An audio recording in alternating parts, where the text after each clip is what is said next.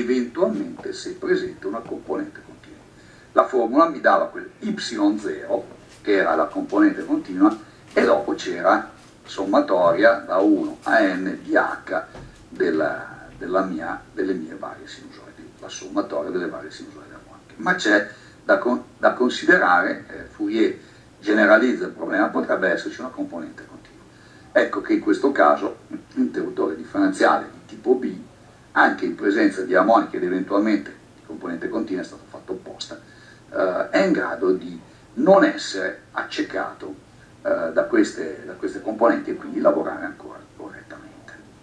Quindi se siamo in eh, presenza, vedendola al contrario, eh, se ci sono tanti scatti intempestivi di interruttori differenziali, andare a guardare il contenuto armonico, perché se ho dei differenziali di tipo C, eh, questi scattano, è un altro problema come dicevamo, perché se ho un contenuto armonico, anche non in presenza di guasto, è l'alimentatore, è il sistema di alimentazione del, dell'interruttore che non è più in grado di generare una uh, opportuna alimentazione al circuito elettronico, in queste condizioni l'interruttore differenziale scatta per sicurezza. Quindi se abbiamo tanti scatti intempestivi, e oggi se ne registrano direi tantissimi, eh, e uno fa un minimo di analisi, potrà rendersi conto di, di, questa situazione che ho appena detto, che spesso è risolvibile, beh, tra cercare di capire, soprattutto se, se il disturbo arriva dall'esterno, dalla lente distributore, è difficilissimo che riusciamo a togliercelo, e conviene cambiare l'interruttore differenziale, passare a un interruttore differenziale di tipo F, che probabilmente ci risolve il problema degli scatti intempestivi e mantiene invece la sicurezza dal punto di vista delle componenti di guasto verso terra. Dal punto di vista, adesso andiamo a vedere quali sono gli effetti dal punto di vista economico che eh, queste armoniche ci possono dare. Allora, l'abbiamo già detto, perdite per effetto giallo, meno potenza disponibile e quindi eh, se devo far funzionare le cose ho meno potenza disponibile vado a un contratto superiore, quindi devo aumentare la potenza contrattuale per compensare le perdite, sovradimensionare le sorgenti di alimentazione, sovradimensionare le condutture, mi riducono la vita dei, dei materiali, eh, abbiamo detto trasformatori così le macchine funzionano bene ma chiaramente si, eh, su, si sovraccaricano e quindi si usano prima eh, questa associazione canadese ha fatto un minimo di, di, di calcolo ed è andata a vedere che se ho una distorsione armonica totale eh, in tensione fino al 10% ho una riduzione della vita delle apparecchiature monofasi pari al 32,5%, degli apparecchi trifase eh, si riducono del 18%, i trasformatori, vedete come dicevamo sono i più robusti, si riducono del 5%, poi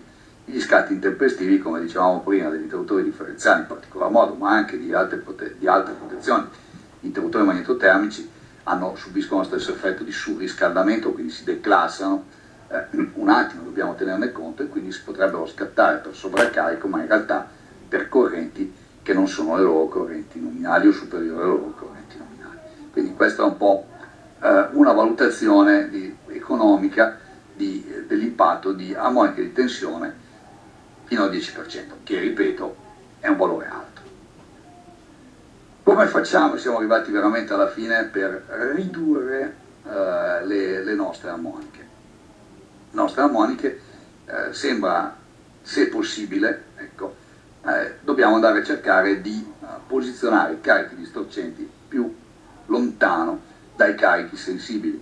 E, eh, le, qui lo vedete bene, questo è il mio impianto, io se ho un carico sensibile, questa è la mia impedenza di linea, e, eh, e ho un carico che so che è inquinante, allora io metto il carico inquinante qua, cosa succede? Succede che eh, lui assorbe la, diciamo, la corrente che viene distorta, ritorna in questo punto, è qui che ho la caduta di tensione distorta, su questo, su questo tratto di linea ho ancora una corrente che viene assorbita in modo sinusoidale, anche se qui ovviamente mm, le correnti si sommano, quindi l'effetto comunque lo sento lo stesso, ma in minor modo, proprio perché ho un'impedenza generalmente montata, che è l'impedenza di linea, perché quella l'abbiamo visto due giorni fa, è la corrente armonica generata dal carico per l'impedenza della linea che mi genera la tensione armonica che mi va poi a creare i problemi. Quindi più sono vicino, più questa linea è corta e quindi più posso considerare questa impedenza bassa e quindi minimizzare il problema eh, delle armoniche di tensione. Quindi spostarla, questo è un tipico esempio sempre che si possa fare, no? l'abbiamo visto prima, mettere i carichi inquinanti più a monte possibile, quindi no a valle o vicino a un carico sensibile, ma poterli portare più a monte o addirittura, se si riesce a fare, separare le alimentazioni. Chiaramente questo ha un aumento di costi impiantistici mica da poco. Poi potremmo anche capire se questi due trasformatori possono, essere, possono darci una convenienza dal punto di vista gestionale dell'alimentazione piuttosto che un unico trasformatore di taglia più grande, però eh, generalmente, anzi, aumentano i costi impiantistici.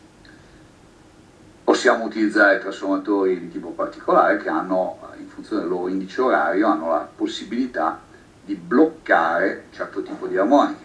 Quindi un collegamento primario triangolo e col secondario che invece è una stella triangolo arresta le armoniche di ordine 5 e di ordine 7. Il classico di Y, quindi trasformatore primario triangolo e eh, secondario a stella, arresta le armoniche di ordine 3. Quindi anche questo può essere possono essere utilizzati per bloccare certi tipi di armonica, oppure andare a incrementare delle induttanze sulla linea. Eh, a questo punto, soprattutto nel caso di variatori di velocità, per limitare le armoniche si possono in, uh, installare delle induttanze di linea che hanno l'effetto di aumentare l'impedenza globale del circuito. E aumentando anche qui questa impedenza globale del circuito, c'è da capire, che sono un po' più scettico su queste, se funzionano bene. Io preferisco uh, vedere queste uh, induttanze uh, come appunto dei, dei, filtri, sostanzialmente lo sono, che vanno però a abbattermi le armoniche. In fondo anche per i condensatori, come vedete, hanno l'effetto, quando ho il condensatore, vanno ad aumentare l'impedenza LC del circuito induttanza condensatore, anche qui questo ha un effetto sulla riduzione delle correnti armoniche. Cosa succede invece quando nei nostri impianti, quindi quando abbiamo un impianto di tipo collegamento di tipo TNC poco usato in, in Italia, un impianto con collegamento TNS. Il collegamento TNC sostanzialmente vado subito alla sintesi, è sconsigliabile eh, se eh, abbiamo dei carichi sensibili e abbiamo delle armoniche, ma proprio perché eh, queste circolano, come abbiamo visto, sul conduttore di neutro, il neutro è insieme al conduttore di, di protezione, infatti abbiamo il conduttore PEN di fatto, e cosa vuol dire? Che si possono generare delle differenze di potenziali di riferimento eh, anche di diverse decine di volte, e questo è mal tollerato da tutte le apparecchiature con carichi sensibili. Nel TNS il problema non si pone perché eh, il conduttore di neutro è separato dal conduttore di, protezio, di protezione, quindi i potenziali verso terra rimangono costanti, le correnti circolano nel neutro con i fenomeni che abbiamo visto eh, precedentemente. Arriviamo ai filtri e siamo veramente arrivati alla fine. I filtri ce ne sono di tre tipi, ci sono i filtri attivi, i filtri passivi e i filtri misti. Partiamo dai filtri passivi. I filtri passivi sono passivi, quindi non devono essere alimentati, sono molto efficaci, vengono utilizzati in impianti eh, molto grandi, quindi con potenza come vedete, carichi inquinanti che hanno una potenza superiore a 200 kWh hanno un unico difetto, vengono dimensionati, vedete che sono appunto delle induttanze e dei condensatori, quindi sono dei, dei gruppi risonanti eh, che hanno il compito di drenare, di risuonare eh, per una determinata frequenza. Una determinata frequenza vuol dire per quell'armonica che ha quella frequenza. Quindi io in questo impianto devo essermi fatto analisi armonica e se devo buttare giù tre armoniche di ordine diverso, devo mettere tre filtri, uno per l'armonica di ordine 5, uno per quella 7 e uno per quello 3, perché sono tre frequenze diverse. Oppure posso decidere che il contributo di eh, due armoniche è proprio dallo spettro ininfluente e di abbattere solo l'armonica che mi dà più disturbo in termini di ampiezza. Però, come dico, è, è costoso perché sono anche molto efficienti, eh, resistono benissimo nelle, hanno una lunga vita proprio perché sono passivi, ma hanno il problema di funzionare uno per ogni singola armonica. Invece il filtro attivo è un filtro che viene alimentato, eh, è un filtro che viene alimentato ha la capacità di adattare il, il gruppo LC, se possiamo definirlo così, all'interno eh, del, del suo sistema e quindi di iniettare una corrente in rete dopo che ha fatto la sua bella analisi uguale e contraria alle armoniche che eh, si ritrova sulla rete. Quindi va a iniettare correnti uguali e contrarie e pertanto si sommano vettorialmente e si annullano vicendevolmente. Quindi la corrente che va verso il carico, questo caso, è una corrente che è perfettamente sinusoidale.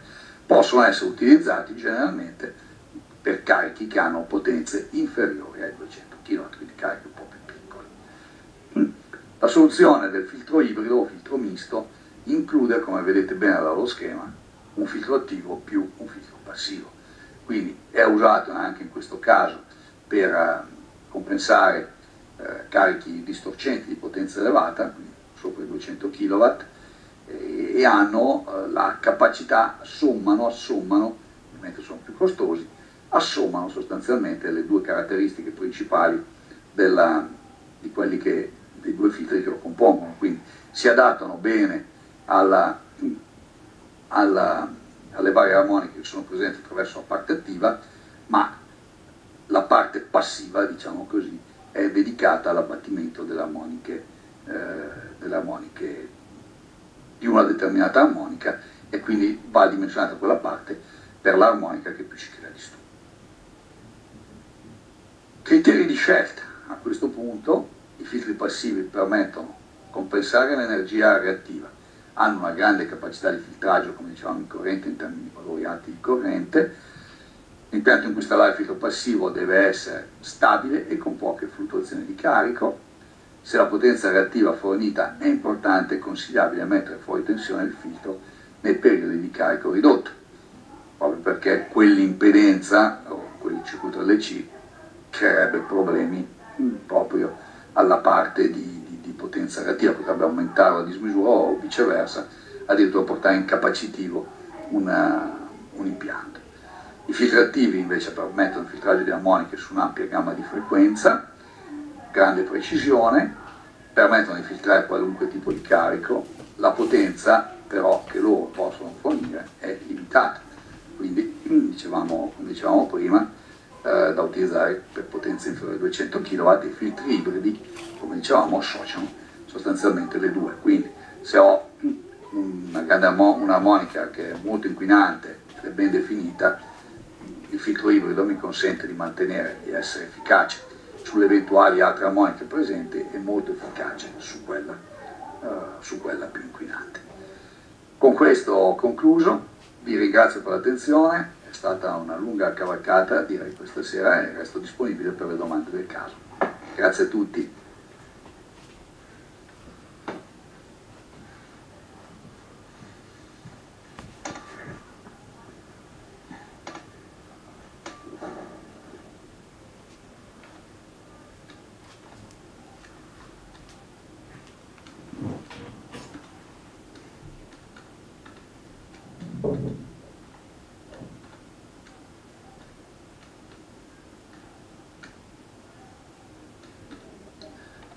Cominciamo con eh, la prima domanda.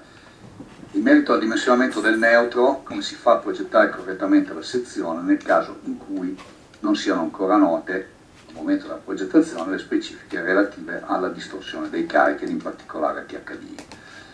Domanda più che lecita ed effettivamente è uno dei maggiori problemi.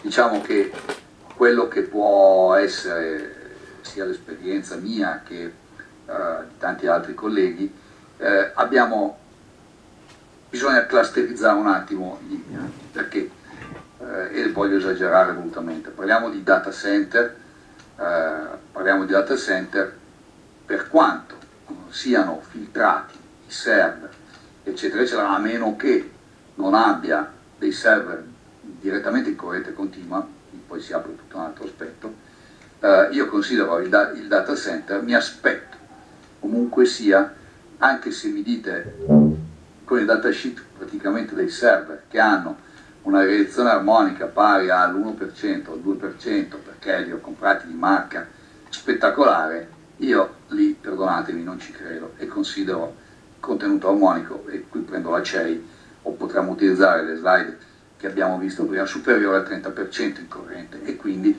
procedo al sovradimensionamento del neutro eh, come, come, riportato sulla norma. E quindi vado una volta e mezza, a meno che non voglia fare il calcolo con, eh, con le formule. Eh, se no, in tutte le altre applicazioni, anche qui, prendiamo per esempio, eh, giusto per, per, dare anche qualche valore, prendiamo per esempio l'impianto terziario, eh, concedetemi di dire che non ho il data center all'interno di questo, neanche un micro server, era giusto per collocarci su gli altri componenti che possono inquinare. Ormai abbiamo tutta l'illuminazione a LED, quindi valutiamo bene i, il carico luce in termini di kilowatt e su quello io mi attengo come se fossero i server del data center, quindi mi aspetto un inquinamento di quel tipo.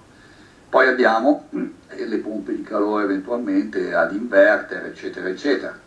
E la situazione può essere migliore, nel senso che su lì eh, dei filtri eh, sono in genere applicati e di conseguenza considero un contenuto armonico pari al 10%, sempre, parlando sempre di corrente, quindi sostanzialmente la norma dice fino al 15% la CEI 748 non prendere provvedimenti, quindi però purtroppo è, è, un, dato, è un dato di fatto. Eh, ricordo un, eh, portando uno studio tecnico, stavo facendo un data center, uno dei primi, quindi vado indietro di un po' di anni, che voleva eh, proprio, andava bene tutto il materiale nostro, ma voleva proprio un analizzatore di rete che in quel momento c'aveva solo la Dossena e giustificato dal fatto che lui adesso avrebbe sovradimensionato eh, i conduttori di neutro, ma voleva verificare in funzionamento, durante il funzionamento, per poi dare indicazioni se tutto era regolare o se bisognava provvedere a buttare un'altra corda in parallelo sulla parte di neutro. Capisco, eh, è un problema, è un problema.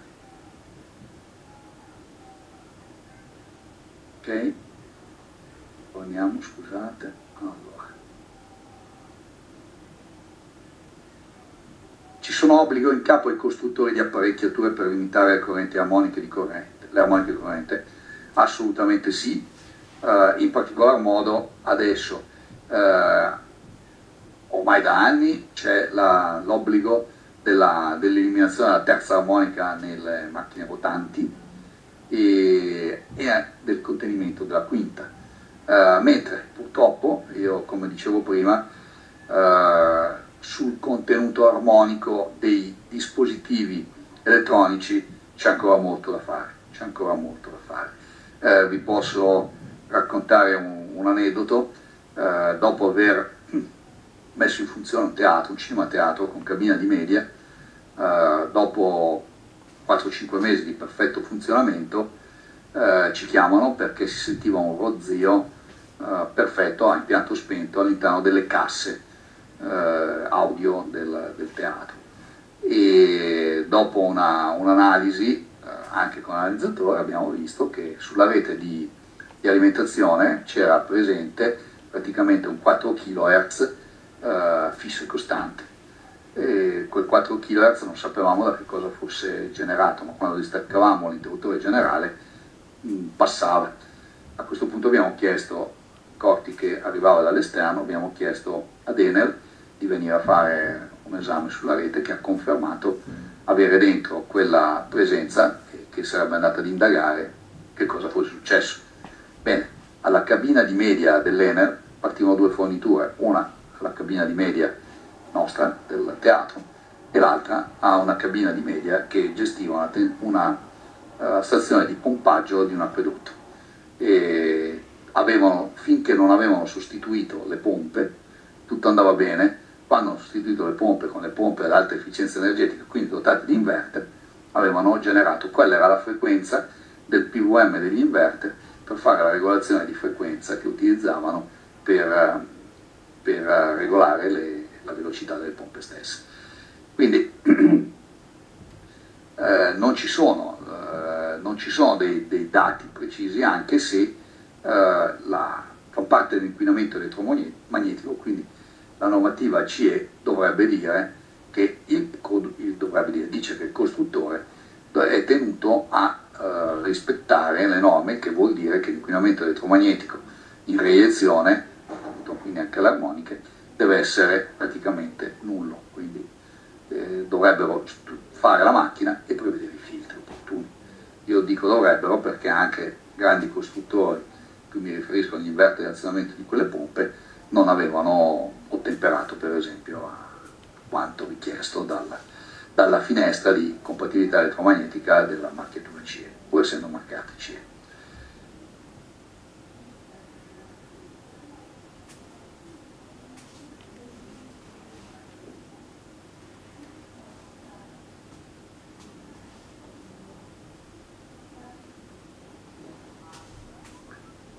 Ecco, un'altra, nella slide 10 dice che per una determinata frequenza l'impedenza tende all'infinito e questo genera armonica. Perché questo legame? Il legame è esattamente questo. Se l'impedenza va all'infinito, il problema è la tensione armonica, eh, che come dico, abbiamo detto, è più stringente in termini di contenuto rispetto alla corrente. Quindi mi aspetto che di correnti armoniche ce ne siano tante e ci sia un contenuto armonico in corrente eh, del 30% fondo la norma CEI ci dice fino al 15% in corrente non stare neanche a guardarlo, però ci dice non più del 4% in tensione. Quindi deve, la tensione è quella che dovrei monitorare prima di tutto. La tensione o un generatore che mi genera le armoniche, eh, forse c'è una domanda, la vedo dopo sul fotovoltaico, e, e ok, ma se ho un generatore sinusoidale, il problema che ho delle, di generarmi una tensione armonica è dovuta al fatto che per la legge di Ohm una corrente moltiplicato per una resistenza o per un'impedenza in questo caso mi genera una tensione. Ora, se ho una corrente armonica anche bassissima in termini di valore, quindi spettro delle armoniche e il valore è basso, 5%, 2%, ma ho un'impedenza elevata, quel prodotto mi dà una tensione armonica di ampiezza elevata. Quindi il legame è questo.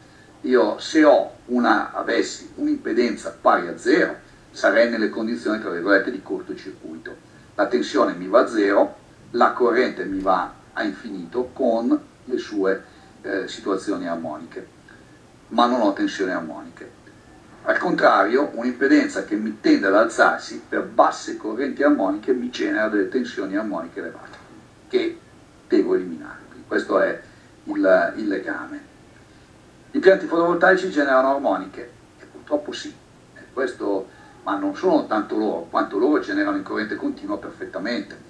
Il problema è che noi li, tra, li, li trasformiamo ovviamente eh, per consegnarli in alternata e, e qui c'è l'inverter di mezzo.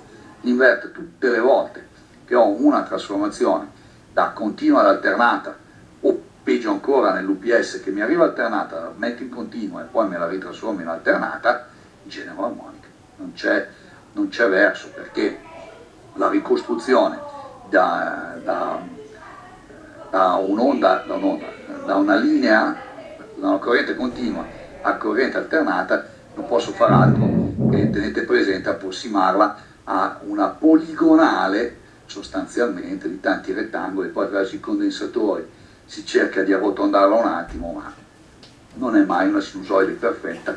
E ripeto, la sinusoide perfetta l'abbiamo solo attraverso la generazione di tensione attraverso macchine rotanti.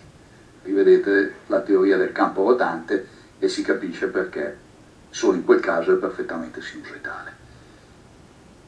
Quindi i pianti fotovoltaici generano armoniche. Uh,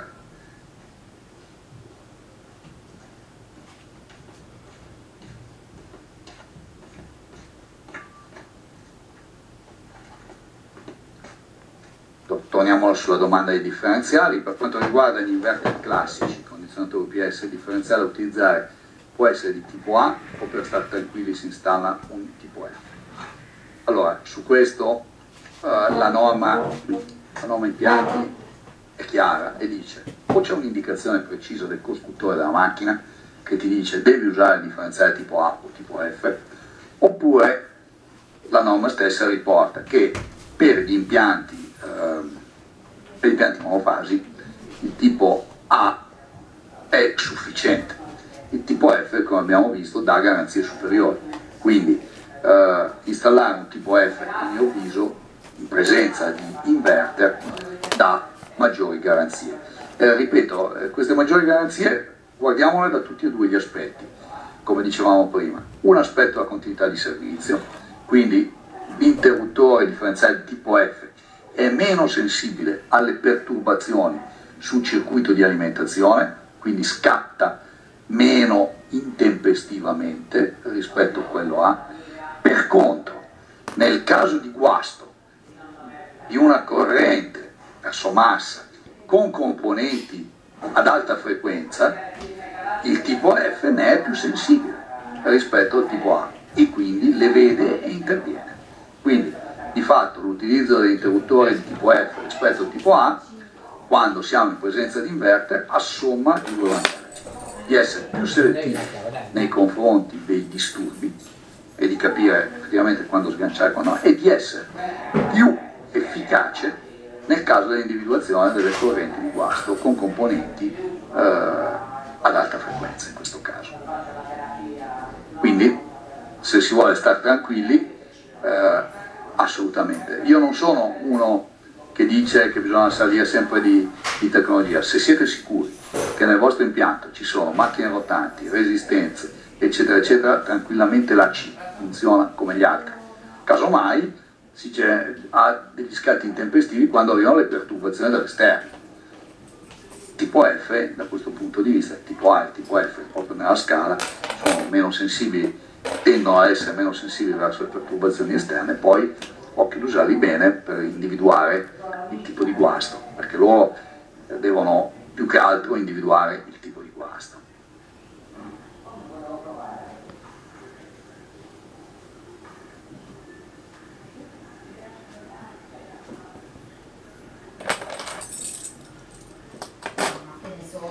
Sugli UPS non è presente un filtro attivo.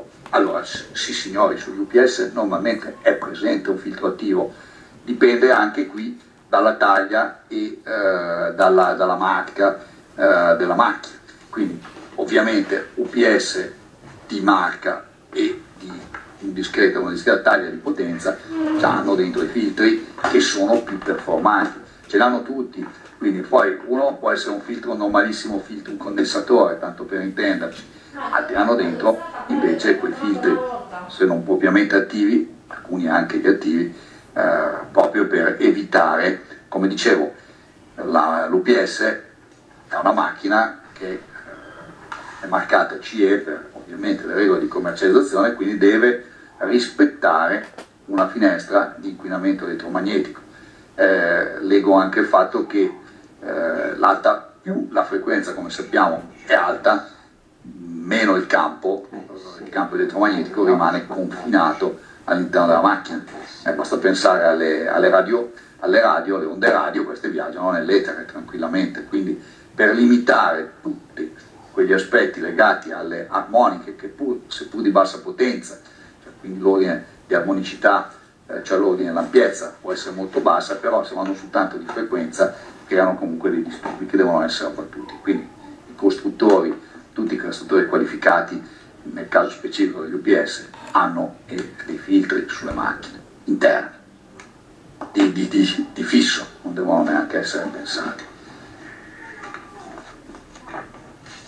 Eh, gli enti normatori, concordo perfettamente, dovrebbero essere più rigorosi nei confronti dei costruttori e in particolar modo adesso di, di, di, determinate, di determinate provenienze, di determinate marche. Questo, questo sì.